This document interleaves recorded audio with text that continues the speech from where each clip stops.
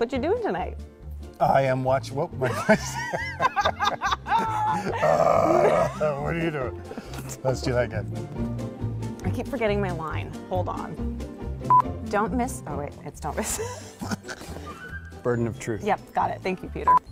Don't miss Burden of Truth on CBC. Miss Don't Truth Burden. There's two cameras. They're gonna cut it. They're gonna cut it out. You're in wardrobe and I'm in civvies. This is pretty It much your works. Yeah, it wardrobe works anyway. for us. Join us for fun, fun and And frivolity. frivolity. I'm Peter Mooney. that was totally the news.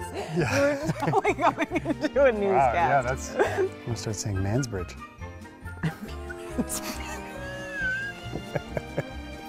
Check out our new show, Burden of Truth, on CBC. That was a really good one. That was sort of that was less Yeah. newscaster and more human. but still excited. But still, yeah. Newscasters are humans too.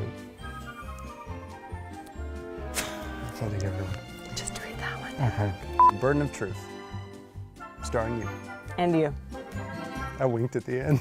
no, you didn't. it was more like a, like a twitch. Uncomfortable. Yeah. Oh, Oh yeah. She's so strong. TRX. TRX. Burden of Truth next on CBC. And then smile, frozen for a 2nd Mm-hmm. Are you squinting when you smile? That time I sort of was. I was trying to make love to the camera with my Oh. eyes. That's nice. I think it worked. Next time you see me, I'm gonna have two camera babies. Sorry. You cut in between each of these, right? No, no. Ah, it's real nice. the whole time. Go!